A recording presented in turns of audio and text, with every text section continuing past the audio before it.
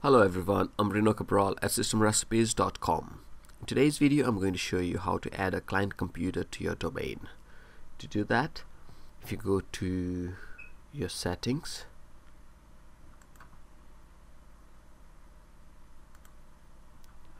go to control panel system and security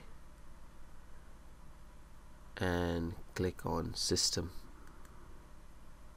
it will take you to your system property window.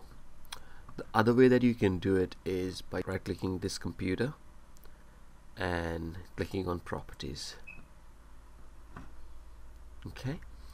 So to add a client computer to your domain all you have to do is click on change settings. Click on change and click on domain and enter your domain name.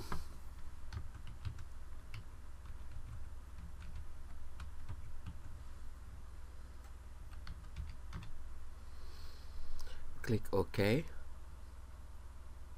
Enter your domain administrative username and password